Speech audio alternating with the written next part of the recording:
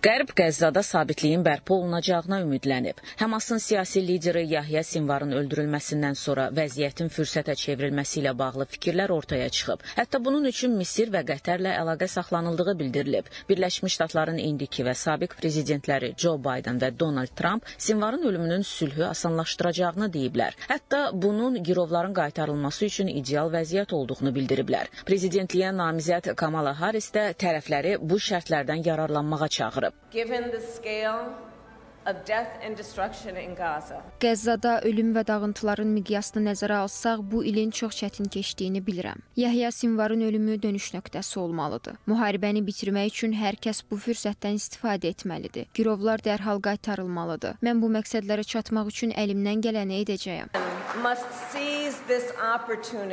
Hazırda Yahya Sinvarın yerini əvvəllər təşkilatın siyasi lideri olmuş Xalid Məşəl tutub. Hakimiyyəti dövründə o, Həmasın digər liderləri ilə gərginliklər yaşayıb. Təşkilat Məşəlin Qəzzada güzəştə getmək cəhdlərini qəzəblə qarşılayıb. O, Fələstin administrasiyası ilə barışıq səyləri göstərib, lakin bu da qruplaşmada daxili çaxnaşmalara səbəb olub. This doesn't end the war. Bu müharibəni bitirmir, heç nəyi dəyişməyəcək. Onlar dərhal Sinvarın ölümünü müsbətə yozmağa başladılar. Lakin bu yenə də bölgəyə atəşkəs gətirməyəcək. Həmasın liderinin öldürülməsi münaqişənin bitməsi demək deyil. Lakin təşkilatın deqradasiyaya uğradığı göz önündədir. Siyasi lider postuna Yahya Sinvarın qardaşı Məhəmməd Sinvar da təyin oluna bilərdi. Onun da bu sahədə təcrübəsi var. Destroy the entire reason for the conflict in the first place. Washington Postun məlumatına görə Yahya Sinvarın öldürülməsi atəşkəs məsələsini çətinləşdirə bilər. Nəşr yazır ki, maneələrin yaranacağı istisna edilmir. Bəzi mənbələr isə onun ölümünün sülh danışıqlarına mənfi təsir göstərməyəcəyini bildirir.